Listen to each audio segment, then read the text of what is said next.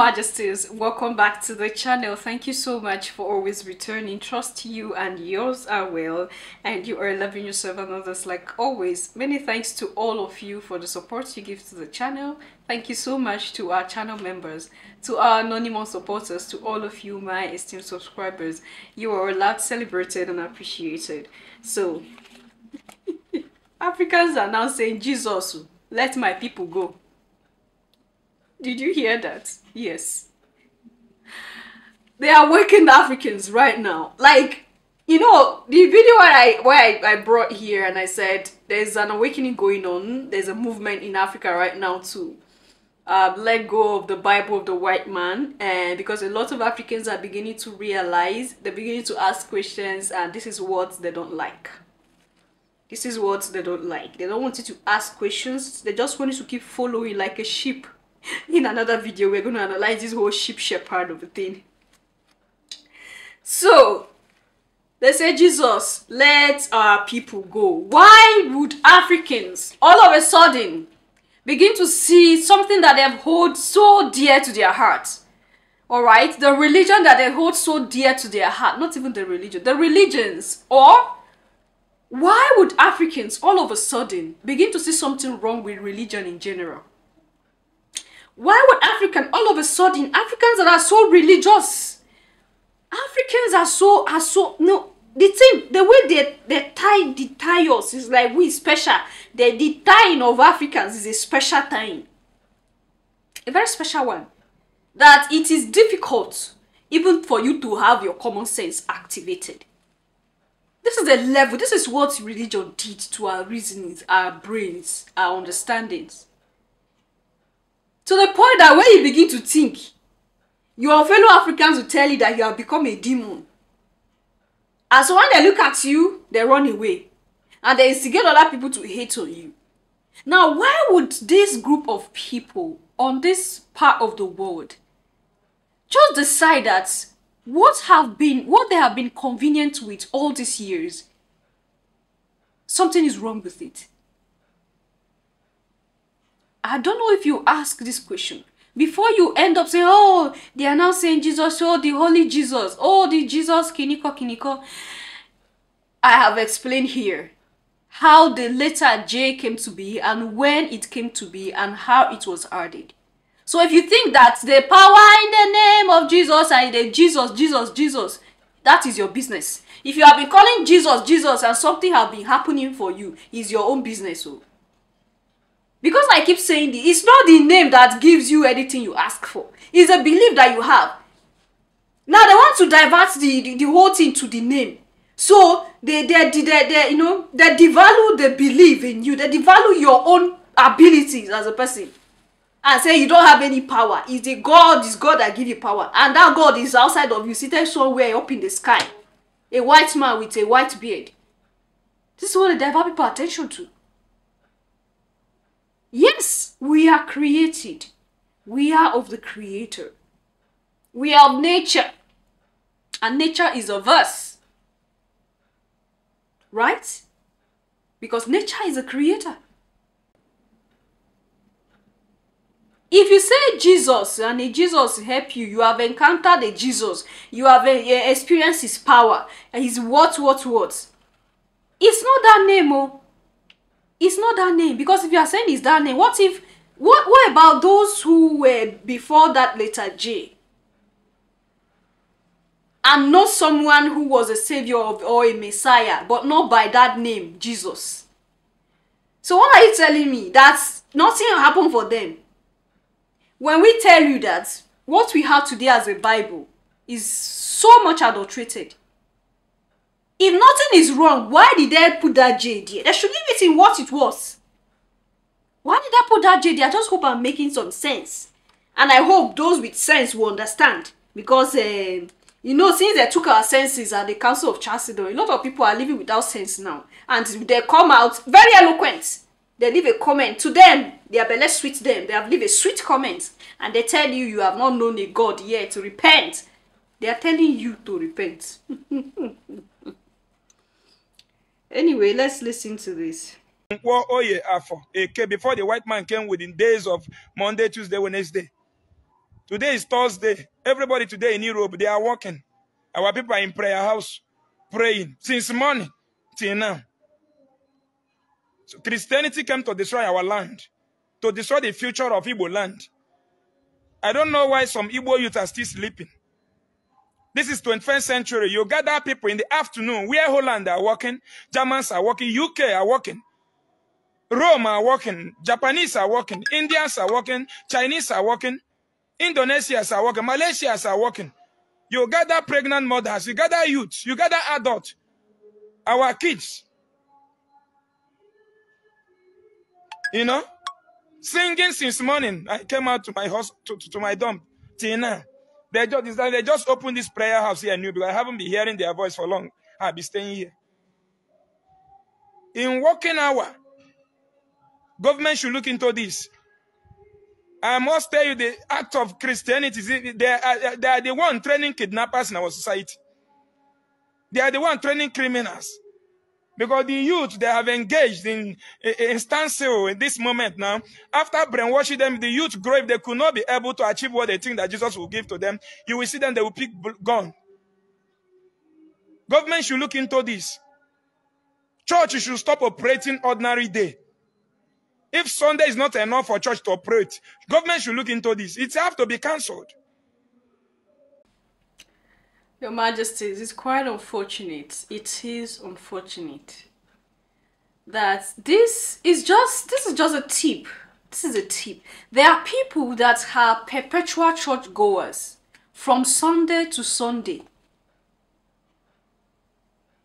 It's not like they are well to do. It's not like they have the money already, so they don't need to work. No. They don't have anything. So they go to this church every day. They don't think of where to go to, how to utilize themselves. They don't think of, okay, which work am I going to do to help myself to become responsible? They are always in the church praying. Oh, What have they done to us? And the so-called men of God, the pastors, look at these people coming every day and they praise them. You are a good brother. I say you are very hardworking. You love the things of the Lord so much. You won't tell that person the truth to go look for a job to do. You are accommodating them coming to the church. Don't you think, where do they get the money to transport themselves to the church every day? How do they eat in their houses? And like he said, that's the truth. This is what breed kidnapping and thieves in communities. When they are supposed to go and look for work, to go and hustle, they are in the church clapping. And since even the so-called man of God himself is jobless, he will sit with them there because, but his own, he's using them to make this money. They are not working, but every time they go there, they have to do offer three. You have to ask them to bring money. You ask them to pay for this, and God is going to bless them. God is going to do a miracle. A miracle is coming. Their helper is on the way coming. Haba. When you work, you pray. It's not like you sit and be praying and you no work. It's not going to work that way. And these are the same people that start putting eye on their fellow neighbors. They are their fellow human being. And they see that their, their neighbor is growing because their neighbor is working. They will start attributing the success of their neighbors to, uh, to witchcraft, to ogboni boni, to blood money. Because to them, they feel like it's not okay that they will have that. And then these so-called pastors will open their mouth and tell them, blessed are the poor in spirit. They don't even explain it that way. They say, blessed are the poor. When you don't have money, the kingdom of heaven is for you. And they are there being deceived. Here in this in this in this material world, they are wretched. Their spirit is tired already from here. In this trapped body. So I don't know. I don't get it. I don't get it. So that Jesus, that Jesus that will make our people and lazy. That Jesus that want people to always be sleeping in the church and don't care about what they eat. Don't care about what their children feed on. Don't care about how they take care of themselves. Don't care about whether they develop themselves or not. That Jesus too should let our people go. We don't want that Jesus. That Jesus have now become the so-called Pharaoh that they want us to hate. Yes. Know some of you be like, hey, you're saying Jesus is later. But you people agree that Pharaoh should let our people go. And people are even using it to sing, make music now. Pharaoh let my people go. So this time around is Jesus let our people go. That Jesus should let Africans be. We are tired of that Jesus. So now it's time that we ourselves, my eyes are open now. Those who bring that Jesus are always going to work and they go to church on Sunday. But we now that have collected that Jesus, we don't work again. No. We go to church every day now. The church has become where we eat food from. And gradually we become demons. And we don't see it that way. We are looking at other people. While we are already the, the, the, the chief demons, we're looking at other people. So, is this is something that we have to talk about? It's not something I will be tired of. I'll keep flogging this issue. I'll keep flogging this issue.